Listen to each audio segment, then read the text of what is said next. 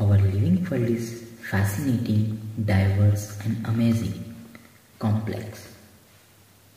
We can try to understand its complexity by investigating processes at various levels of biological organization, macromolecules, cells, tissues, organs, individual organisms, populations, communities, ecosystem, and biomes. At any level of biological organization, we can ask two type of questions. For example, when we hear the bulbul singing early morning in the garden, we may ask, how does the bird sing? Or why does the bird sing? This how type question seeks the mechanism behind the process, while the why type questions seek the significance of the process. For the first question in our example, the answer might be in terms of the operation of the voice box and the vibrating bone in the bird. Whereas for the second question, the answer may be lie in the bird's need to communicate with the mate during breeding season. When you observe nature around you with scientific frame of mind, you will certainly come up with many interesting questions of both type. Why are my why are night blooming flowers generally white? How does the bee know which flower has nectar? Why does cactus has so many thorns? How does the chick sparrow recognize her own mother and so on? You have already learned in previous classes that ecology is a subject which studies the interaction among organisms and between the organism and its physical abiotic environment. Ecology. Ecology is basically concerned with four levels of biological organization organism, population, community, and biomes. In this chapter, we explore ecology at population level.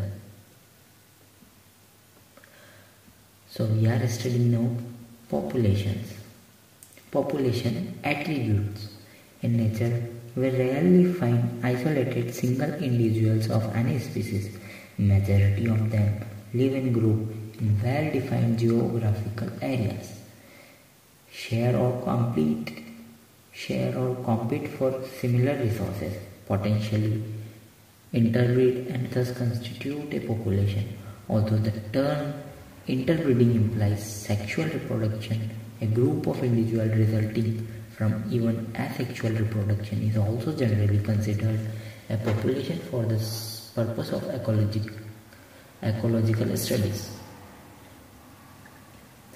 All the cormorants in a wetland, rats in an abandoned dwelling, teakwood trees in a forest tract, bacteria in a cultural plant, and lotus plant in a pond are some examples of population. In earlier chapter, you have learned that although an individual organism is the firm that has to cope with a changed environment, it is at the population level that natural selection operates to evolve the desired traits.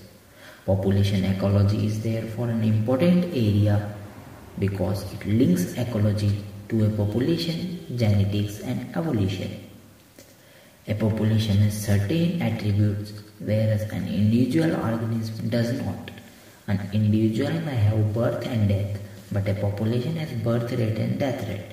In a population, this rate refers to per capita birth and death. The rate hence expressed are change in number, increase or decrease with respect to members of the population. Here is an example. If in a pond there will be 20 lotus plants last year and through reproduction 8 new plants are added taking the current population to 28 we calculate the birth rate as 8 upon 20 equal to 0.4 offsprings per lotus per year. If 4 individual in a laboratory population of 40 fruit flies died during a specified time interval say a week the that rate in a population during the period is 4 upon 40 equal to 0.1 individual per fruit fly per week. Another attribute characteristic of population is sex ratio. An individual is either male or a female but a population has sex ratio. Example 60% of the population are female and 40% male. A population at any given time is composed of individuals of different ages. If the age distribution percent individual or a given age or age group is plotted for the population, the resulting structure is called age pyramid. For human population, the age pyramid generally shows age distribution of males and females in a diagram. The, the slope of the pyramid reflects the growth status of the population, whether it is growing, stable or declining.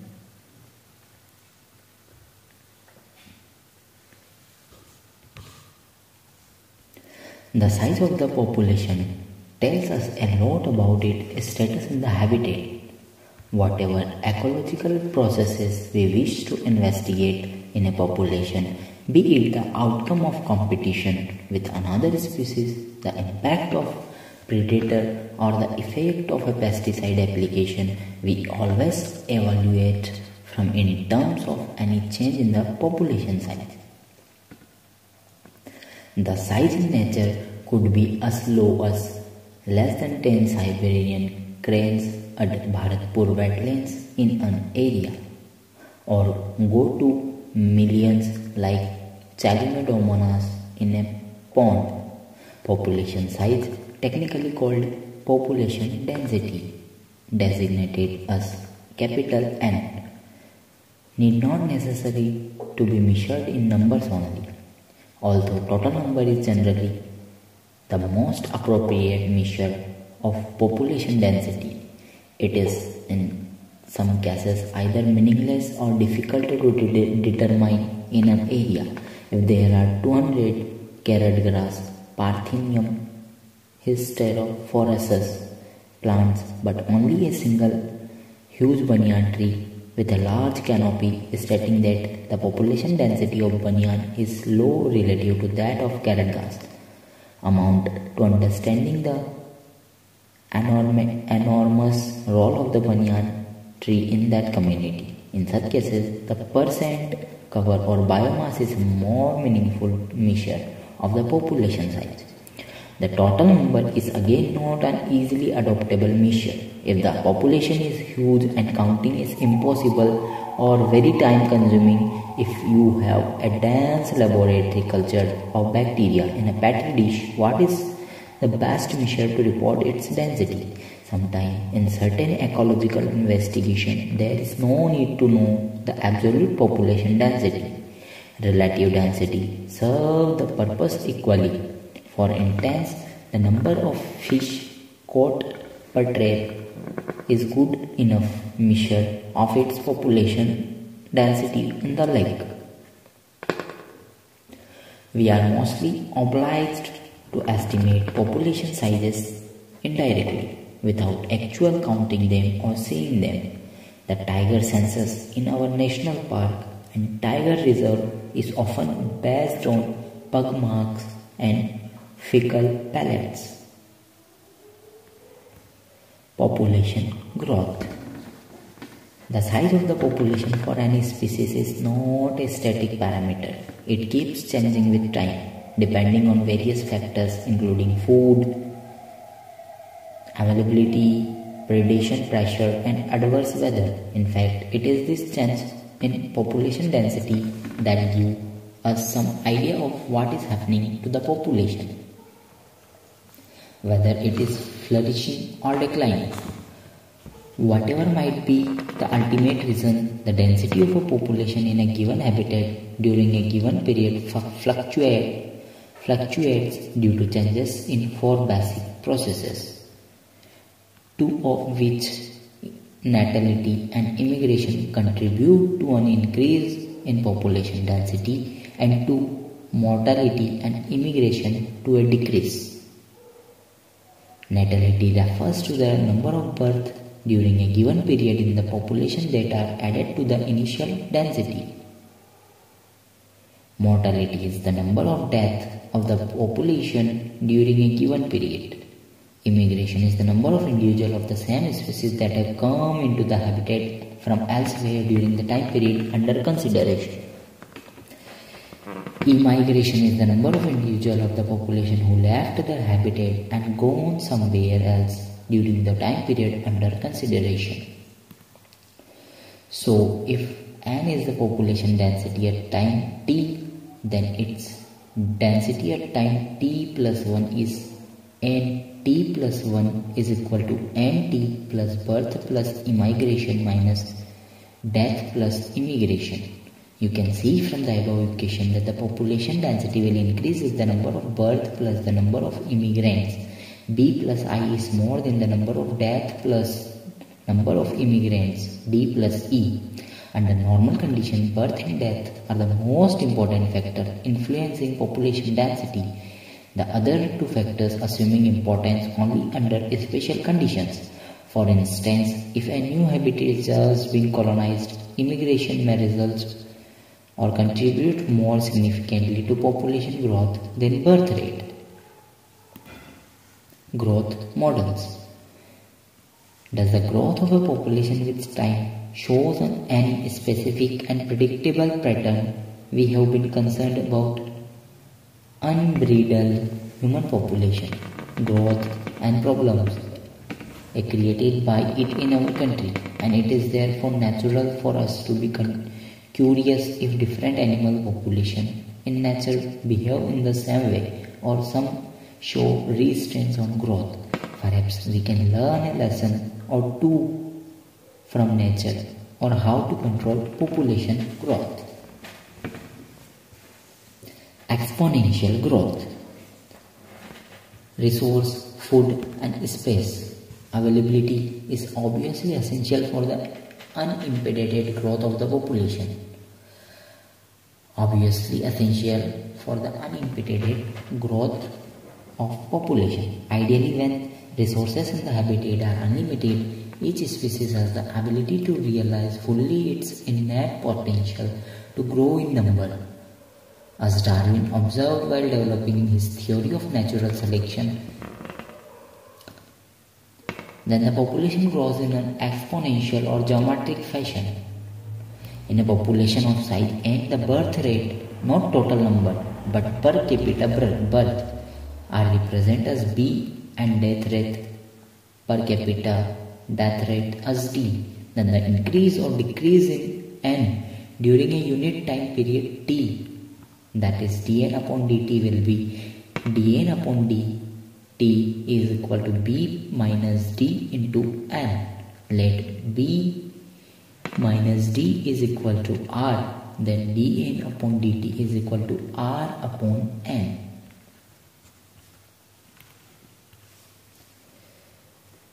The r in this equation is called intrinsic rate of natural increase and is very important parameter chosen for assessing impact of any biotic or abiotic factor on population growth. To give us some idea about the magnitude of R values for the Norway rat, the R is 0.015 and for the floor beetle it is 0.12. In 1981 the value of R for human population in, in India was 0.0205. Find out what the current R value is. For, for calculating it, you need to know the birth rate and death rate. The above equation describes the exponential or geometric growth pattern of population and results in a J-shaped curve when we plot in relationship to time.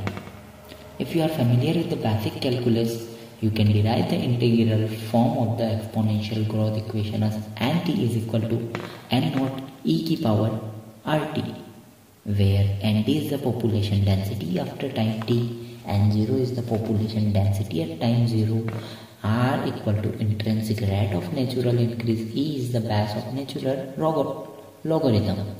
Any species growing exponentially under unlimited resource condition can reach enormous population density in a short time. Darwin showed how even a slow growing animal like elephant could reach enormous numbers in the absence of checks the following is an coded popularly narrated to demonstrate dramatically how fast a huge population could build up when growing exponentially. So there is a story. The king and the minister sat for a chess game. The king, confident of winning the game, was ready to accept any bet proposed by the minister. The minister humbly said, and if he won. So there is a story in this paragraph which is not so much important. So you can check it. So we are going to read logistic growth. Second point. No population of any species in nature has it at its disposal unlimited resources to permit exponential growth. This leads to competition between individuals for limited resources. Eventually, the fittest individual will survive and repro reproduce. The government of many countries have also realized this fact and introduced various restraints with a view to limit human population growth in nature, a given habitat has enough resource to support a maximum possible number, beyond which no further growth is possible. Let us call this limit as nature's carrying capacity K for that species in that habitat. A population growing in an habitat with limited resource show initially a lag phase followed by a phase of acceleration and a deceleration and finally an asymptote. When the population density reaches the carrying capacity, a plot of n in relation to time result in a sigmoid curve. This type of population growth is called Verhulst per logistic growth and is described by the following equation. dn upon dt is equal to r n bracket k minus n upon k where N is population density at time t, R is intrinsic rate of natural increase, K is carrying capacity. Since resource for growth for most animal population are finite and become limiting sooner or later, the logistic growth model is considered more realistic. Logistic growth model is considered more realistic Gathered from government census data, population figures for India for the last 100 years. Plot them and check which growth pattern is evident. Life history variations. Population evolved to maximize their reproductive fitness, also called Darwinian fitness. High R value in the habitat in which they live. Under a particular set of selection pressure, organisms evolve toward the most efficient reproductive strategy. Some organisms breed only once in their lifetime, Pacific salmon, fish, bamboo, while other breeds many times during their lifetime, most birds and mammals. Some produces a large number of small-sized offspring, oyster, pelagic fishes while other produces a small number of large sized offspring, birds, mammal. So which is desirable for maximizing fitness? Ecologists suggest that life rate of organisms have evolved in relation to the constriction imposed by the abiotic and biotic component of the habitat in which they live. Evolution of life history trait in different species is currently an important area of research being conducted by ecologists. Population interactions. Can you think of any natural habitat on earth that is inhabited just by a single species? Can you think? No. There is no such habitat and such a situation is even unconceivable.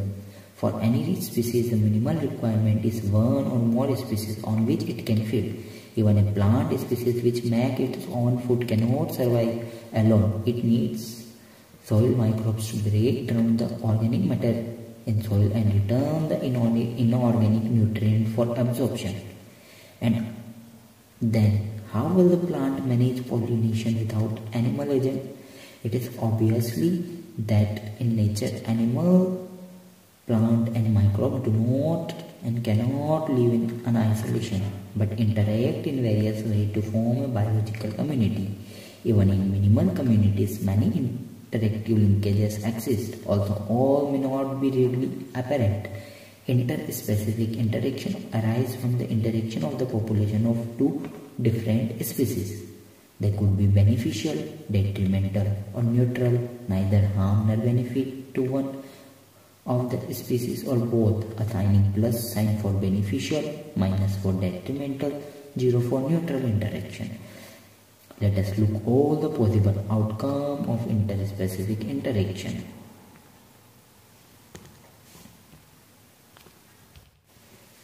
Population interactions plus plus species with A plus plus mutualism. Minus minus. Competition. Species A plus species B predation. Species A plus species B minus. Parasitism. Species plus species B 0 is commensalism. Species A is minus species B is 0 that is amensalism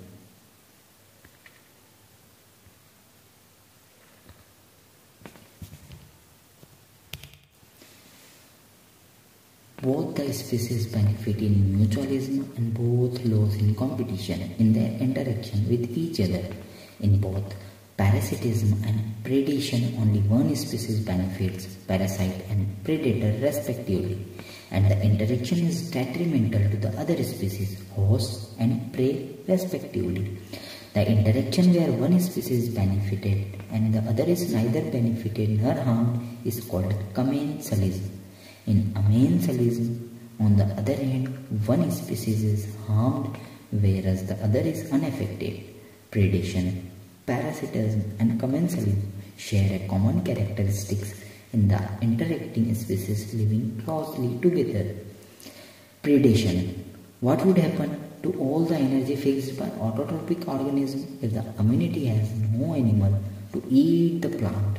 You could think of predation as nature's way of transferring to higher trophic level the energy fixed by plant. When we think of predator and prey, most probably it is the tiger and the deer that really comes to our mind. But a sparrow eating aniseed is no less a predator. Although animals eating plants are categorized separately as herbivorous, they are in a broad ecological context not very different from predation besides acting as conduits for energy transfer across trophic levels. Predators play other role important roles. They keep prey population under control but for predators prey species could achieve very high population density and cause ecosystem instability when certain exotic species are introduced into a geographical area, they become invasive and start spreading fast because the invaded land and does not have its natural predator. The prickly pear cactus introduced into Australia in the year 1920s caused havoc by spreading rapidly into millions of hectares of range land. Finally, the invasive cactus was brought under control only after a cactus feeding predator, a moth from its natural habitat was introduced into the country.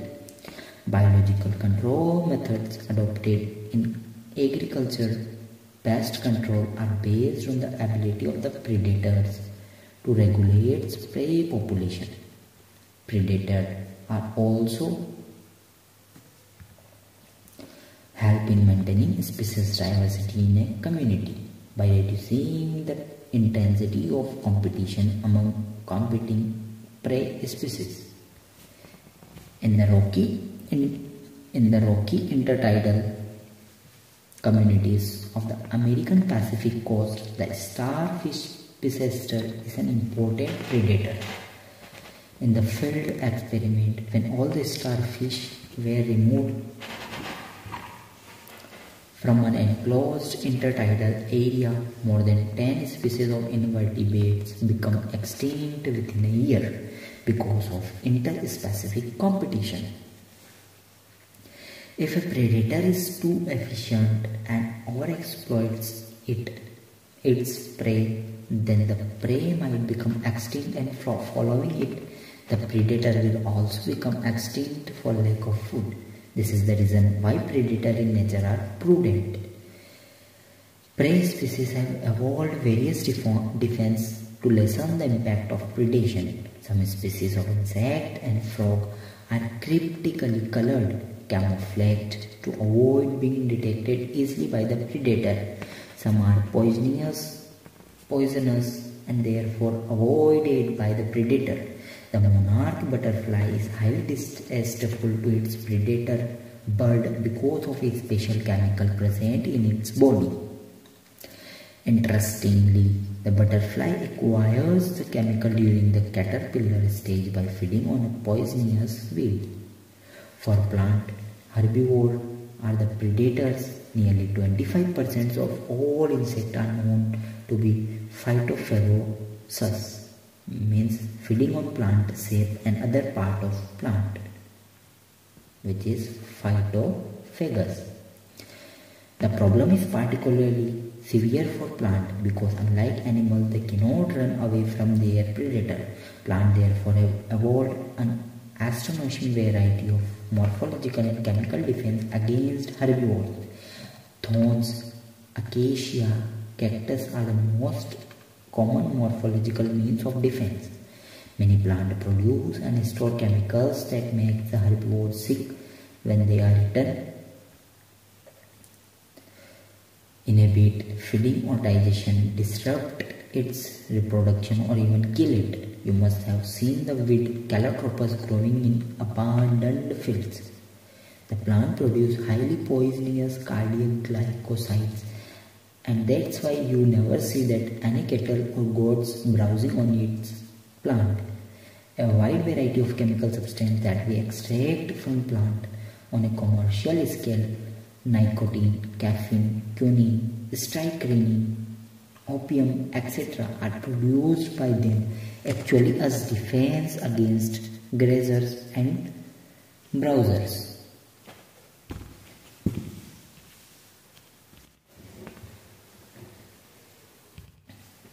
Competition When Darwin spoke of the struggle for existence and survival of the fittest in nature, he was convinced that interspecific competition is a potent force in organic evolution.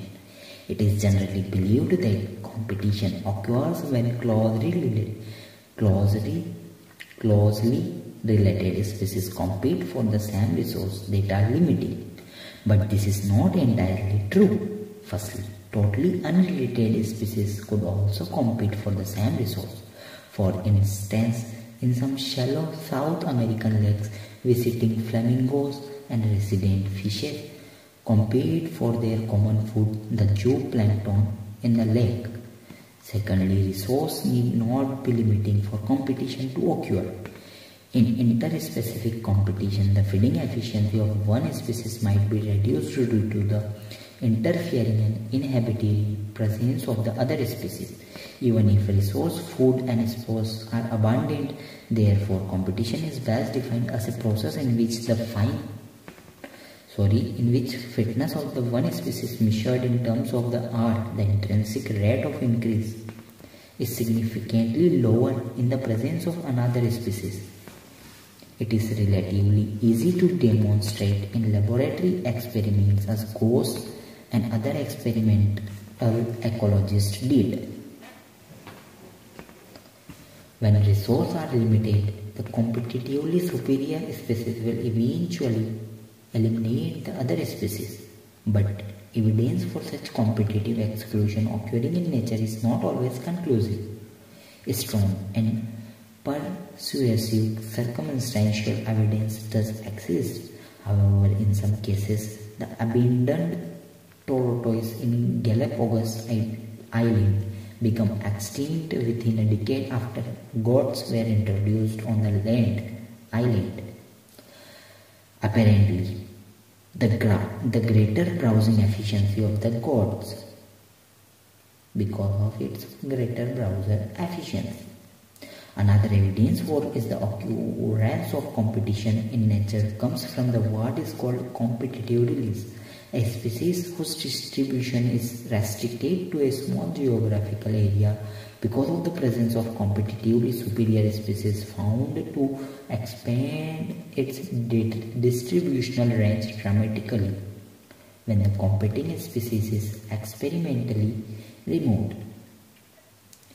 Connell's elegant field experiment showed that on the rocky sea coast of Scotland, the larger and the competitively superior barnacle balanus dominates the intertidal area and exclude the smaller barnacular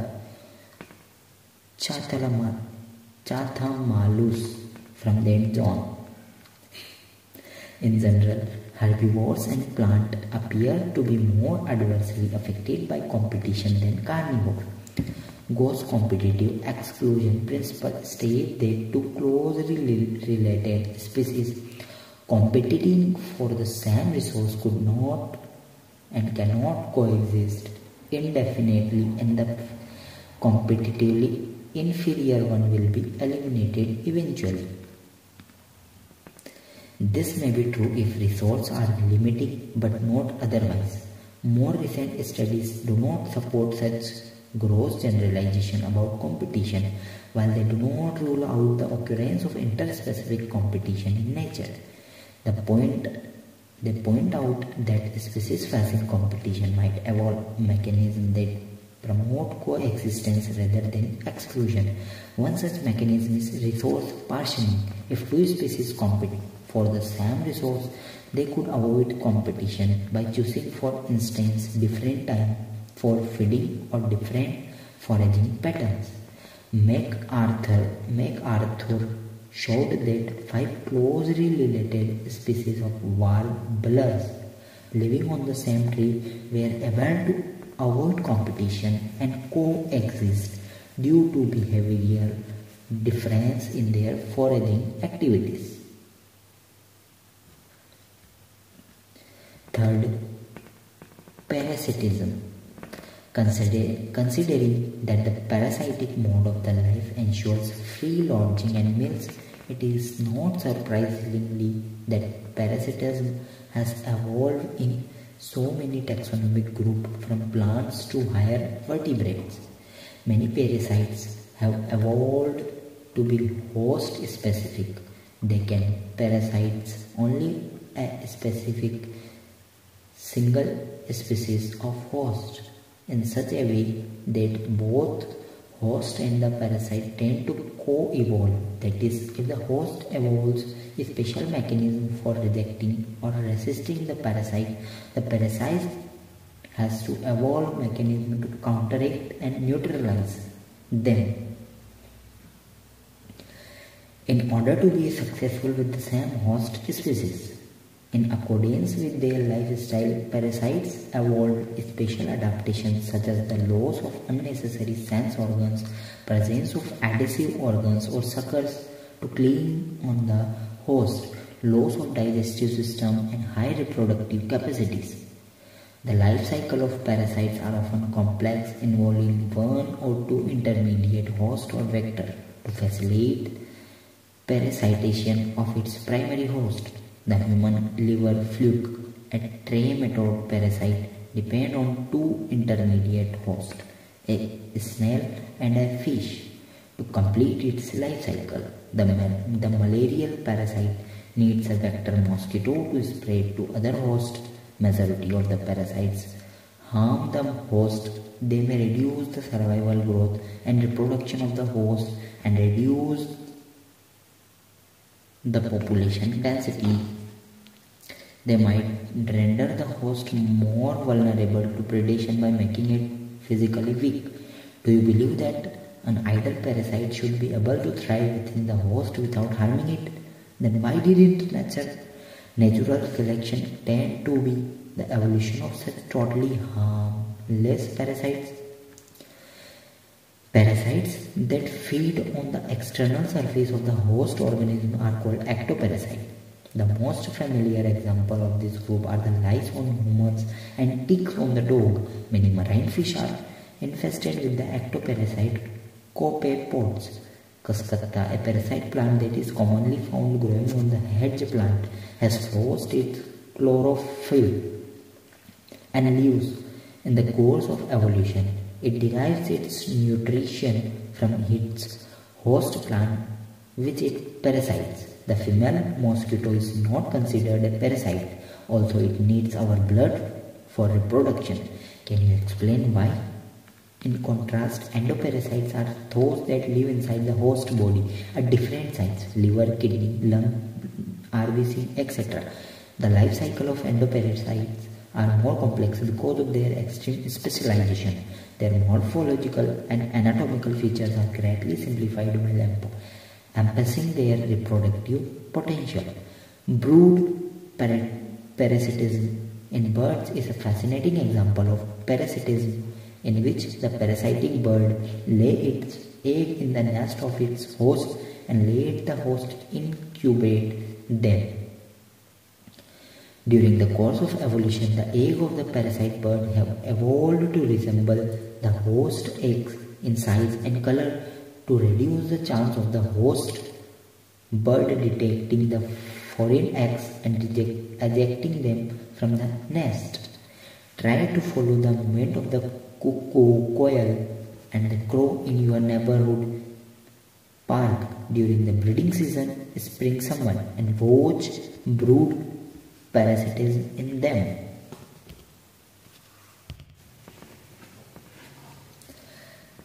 Fourth, commensalism.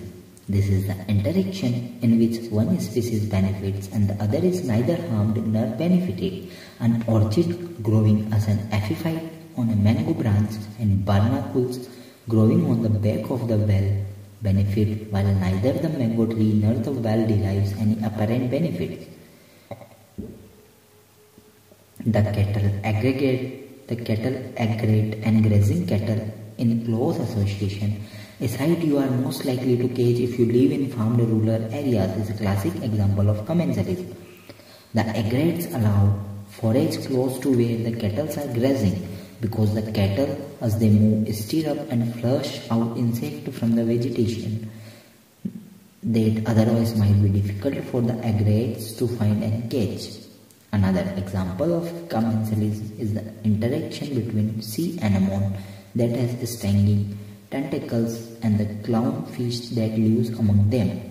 The fish gets protection from a predator which stay away from the stinging tentacles. The anemone does not appear to derive any benefit by hosting the clownfish.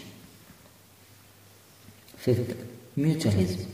This interaction confers benefit on both the interacting species. Lichens represent an intimate mutualistic relationship between a fungus and photosynthetic algae or cyanobacteria. Similarly, the mycorrhiza are association between fungi and the root of hair plant. The fungi helps the plant in the absorption of essential nutrient from the soil, while the plant in turn provides the fungi with energy-yielding carbohydrates. The most spectacular and evolutionarily fascinating, fascinating example of mutualism are found in plant-animal relationship. Plant need the animal of need the help of animals for pollinating their flowers and dispersing their seeds. Animals obviously have to be paid fees for the services that plants expect from them. Plant offer rewards or fees in the form of pollen and nectar for pollinators and juicy and nutritious fruits for seed dispersal, but the mutually beneficial system should also be safeguarded against cheater, for example, animals that try to steal nectar without aiding in pollination. Now you can see why plant-animal interaction are often involve co-evolution of the mutualist, mutualist. That is the evolution of the flower and its pollinator species are tightly linked with one another. In many species of fig trees, there is a tight one-to-one -one relationship within the pollinator species of wasp. It means that a given fig wasp fig species can be pollinated only by its partner wasp species and no other species can pollinate it. The female wasp uses the fruit not only as an oviposition egg-laying site but uses the developing seed within the fruit for nourishing its larvae. The wasp pollinates the fig inflorescence while searching for suitable egg-laying sites. In return for the favor of pollination, the fig offers the wasp some of its developing seeds as food for the developing wasp larva. Orchids show a bewildering diversity of floral patterns, many of which have evolved to attract the right pollinator insect, bees and bumblebees and ensure guaranteed pollination by it. Not all orchids offer rewards. The Mediterranean orchids Ophrys employs sexual deceit to get pollination done by an species of bee. One petal of its flower bears an uncanny resemblance of the female of the bee in size, color and marking. The female, sorry, the male bee is attracted to what it perceives as a female and pseudo-copulates with pseudo-copulates copulates with the flower and during that process is dusted with pollen from the flower. When the same bee pseudocopulates with another flower, it transfers pollen to it and thus pollinate the flower. Here you can also see how co-evolution operates. If the female bee color patterns change even slightly for any reason during evolution, pollination success will be reduced unless the orchid flower co-evolves to maintain the resemblance of its petal to the female bee. Summary as a branch of ecology, sorry, as a branch of biology, ecology is the study of relationship of living organisms with the abiotic physiochemical factors and biotic components other species of their environment. It is concerned with four levels of biological organization, organized population, communities and biomes. Evolutionary changes through natural selection takes place at the population level and hence population ecology is an important area of ecology. A population is a group of individuals of a given species sharing competing for similar resource in a defined geographical area. Population attributes that an individual organism do not birth rate and death rate, sex ratio and age distribution. The proportion of different age group of male and female in a population is often presented graphically as age pyramid. Its shape indicates whether a population is stationary, growing or declining. Ecological effect of any factor on a population are generally reflected in its size, population density, which may be expressed in different ways. Numbers, biomass, percent cover etc depending on its species on the species population grow through birth and immigration and decline through death and emigration when resources are unlimited the growth is usually exponential but when resources become progressively limiting the growth pattern turns logistic in either case growth is ultimately limited by the carrying capacity of the environment the intrinsic rate of natural increase R is a measure of the inherent potential of a population to grow. In nature, population of different species in a habitat do not live in isolation but interact in many ways.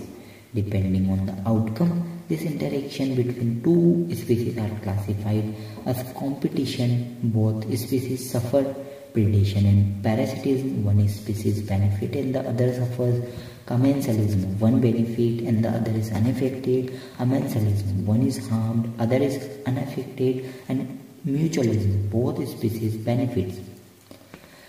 Predation is a very important process through which trophic energy transfers is facilitated and some predators help in controlling their prey population.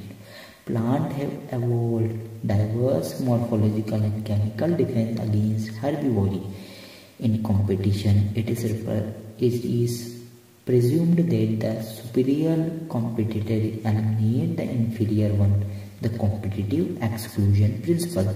But many closely related species have evolved various mechanisms which facilitate their coexistence. Some of the most fascinating cases of mutualism in nature are seen in plant pollinator interaction. So the chapter is almost over.